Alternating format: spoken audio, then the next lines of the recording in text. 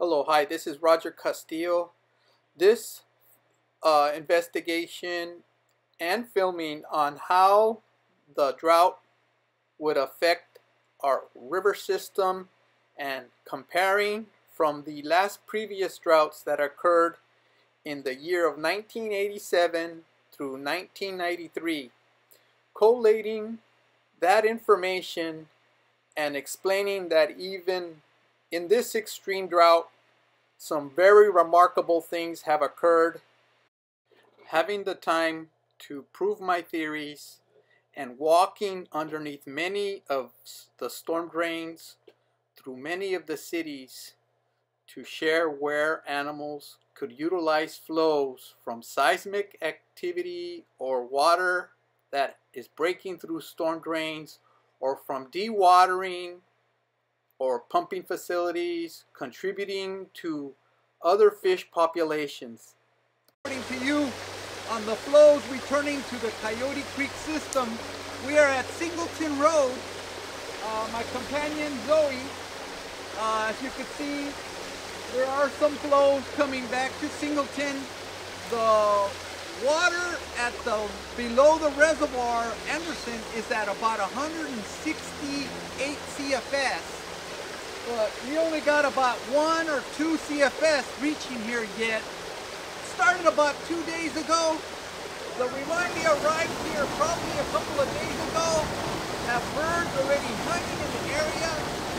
But uh, again it took a few days for the water to replenish the aquifer of the Coyote Creek. And uh, and I are out taking a, a look to see uh, what the conditions look like.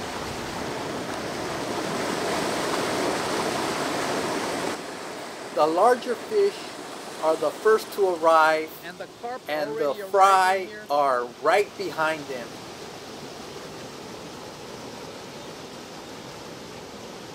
This is a look at Coyote Creek watershed and how it functions after recovering out of an extreme drought within the Metcalf five pond system. As the reservoirs were burped, the fish ladder started to be functional again and the remarkable thing on how and where fish were reared. But investigating one of the ponds, I noticed that no fish were making it up the fish ladder. And the creek was dry for almost two years. So this is a small portion of my complaint on how Santa Clara Valley Water District operates and fails to manage their five ponds within the Metcalf area on Coyote Creek. As ponds, again, fill a total of five ponds in the Metcalf area. This is one pond that has a levee break in it, and you could see this valve system that plunges in the middle of the pond. What you're about to observe is within the April timeframe, this large migration of fish leaving the state-of-the-art sewage treatment plant and millions, if not thousands of hundreds of thousands fish started showing up in humongously large schools. Having the opportunity to set up cameras, underwater cameras, at the plunge of this valve system and filming as the fish attempt to move into this pond. The obvious signs on how a plunging valve system can confuse fish thinking there's a way out and how this would threaten endangered steelhead rainbow trout or out migrating steelhead or out migrating salmon. Finding some of the casualties which look like native minnow populations throwing themselves against the rocks. Having the opportunity, I pulled out a Ziploc bag, plastic bag out of my backpack and plunged it below this group of rocks from this valve system and all these fish ended up in the bag. Black bass, minnow species, carp, suckerfish, There was so many different species that congregated within this valve system attempting to move upstream. Having the opportunity to not just film but understand behavior on how fish are drawn to plunging waters confused from trying to find the exit. While these are invasive species, the effects to the natives are really extremely bad as they get trapped in these ponds and they get preyed upon. Here's a look during the drought 2014 how this pond you could observe the levee breach. This would be where the fish have to enter and at the same time the drying pools and animals that I rescued like floater mussels there's the breach that's where the fish come into the pond and then are confused with the plunging flows. Having the opportunity to angle lower areas from the pond area, an infestation I determined was established throughout the whole Coyote watershed. It's a lot of little bass activity. Nothing but bass. And these are our largemouth bass. Oh, here we go. Oh, little guy. Woo! Little, little uh, three incher here. Look at the. This is a small look. Numerous fishing expeditions, filming numerous people hiding the secret of where millions of fish are trapped within a pond. To the point that even while I was fishing my dog swam around and I'm catching fish. This is just a small look. Having the opportunity to fish and invite Herman Garcia from Cheer to come on a 30 minute fishing expedition. All right, so I'm here with Herman Garcia. We're gonna do some angling. Millions got him, got of him. millions of fish. Ah, oh, Oh, up. millions of fish swam up from the north end of San Jose, where all the water is coming up from a lot of the seismic activity, also where the fish are living under storm drains. But today is an angling day. Millions of fish are trapped here at the, I call it Pond 3, downstream Got of 'em. Metcalf Pond. And look at this. During the drought, this pond is full of millions of largemouth bass. A bass fisherman's paradise.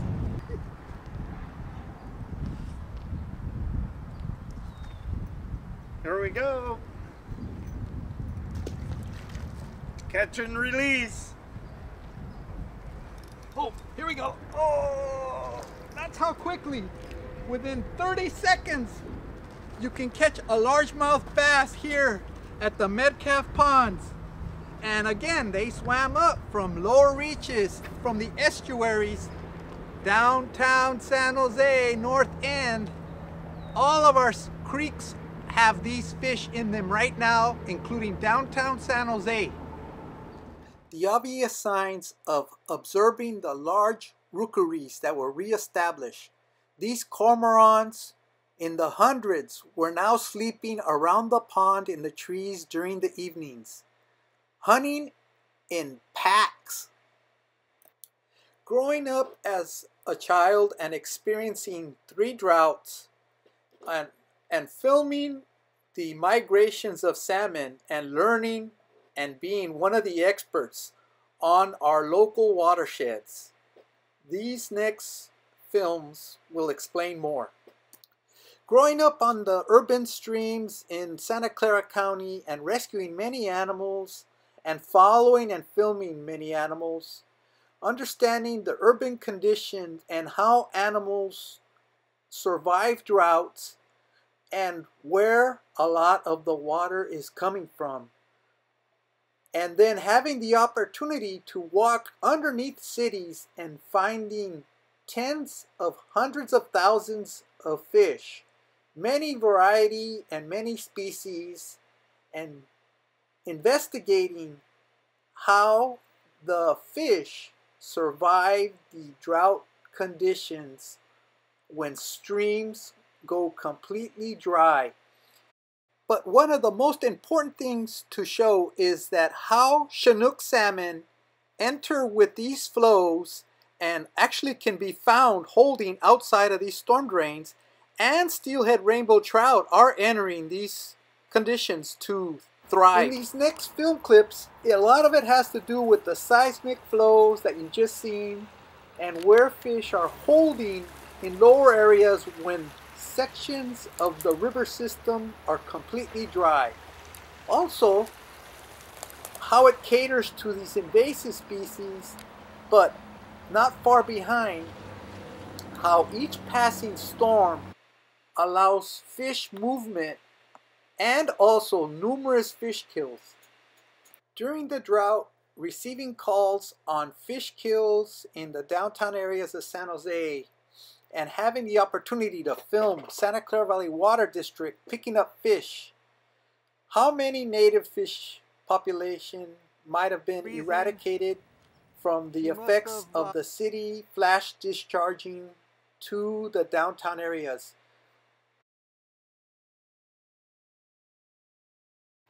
Looking at the higher watershed of the Guadalupe River on Alamitos Creek is another example of how housing complexes affect the streams.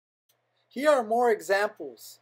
While these carp species like California suckerfish are urged to move up from the effects of housing complexes releasing flash discharge they are more smarter and know when the flows are coming down, they immediately turn back.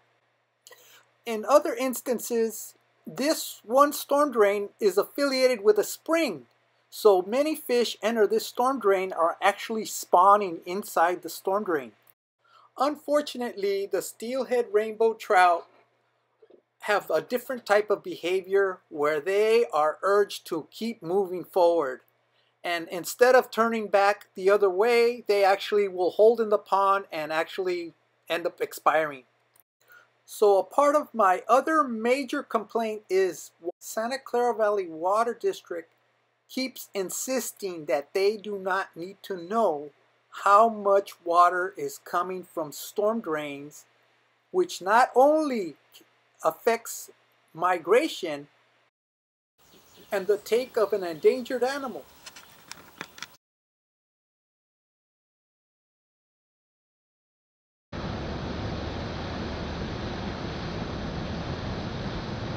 monitoring and following the fish kills, also monitoring uh, Santa Clara Valley Water District's operations, not understanding why they can't stay in compliance to permits to keep fish ladders in operation. After 10 to 12 storms coming in through the, the fall of 2015 and not understanding why things were not assembled. Most certainly, millions of fish died, not just on the Coyote Creek, but the Guadalupe River system. In assessing more about the effects of the drought, my assumption was that most of the invasive species like largemouth bass or black bass, carp, and perch, bluegill would be no longer in high concentrations, but that, that is not the case. Within the spring of 2016, it almost looked like we never even had a drought. Fish could be found in the downtown areas, large fish, and then the fish just moved on up to the upper watershed. On this next fishing expedition, after observing at least five to six fish kills with passing storms. Panfish. Oh wow, look at this one. She is fat, most likely has uh, eggs in her. Look at the beautiful colors. These are uh, beautifully looking uh, panfish. They're like a bluegill species and uh, they got a large mouth compared to the uh, other species that we see that are non-native here. To go into more detail on how gross negligence the water district and how they conducted operations. This is Kirk Dam diversion to their percolation system on Los Gatos Creek. This region is four to five miles upstream of the downtown San Jose area. Within the downtown area of Auzerais Street Bridge crossing, where, where the flows diminish just around the Lincoln gauge to 0.5 CFS. Standing on a rock in the middle of the channel and filming the conditions. In the November 6, 2016 timeframe, raising flows on the main river of the Guadalupe River and reducing the flows on Los Gatos Creek and stranding Chinook and watching Chinook turn around as flows diminish in between storms. The gauge at the Lincoln gauge will show this information. Also, how the water district continues to disregard this pumping facility underneath the Auzerais Bridge, which contributes to stranding fish within the downtown area. As to what occurred in 2013, as many fish got trapped within the same region from the effects of this storm drain dewatering facilities along the freeway. Many fish solely have the discharge of storm drains to allow them to move upstream. Meanwhile, the water district reduced the flows that these fish had no other choice but to turn around and go back downstream. So, the other factor is trapping fish within the most heavily homeless infested areas within the downtown areas of San Jose. A quick look at the conditions in 2013. In the monitoring and staff at the Santa Clara Valley Water District, senior managers making it a high priority that they make sure that they do not report the most appalling conditions from the traps to the poaching activity that the homeless had been conducting for decades. Looking at the shovel and the pallet, you'll see the screens that we found in the creek. Once the evictions were completed. But the most important thing is that identifying that staff had been following Chinook salmon and documenting redds and failed to report stream alterations and the take of a threatened or endangered species, the damage is overwhelming on how horrid the conditions were in 2013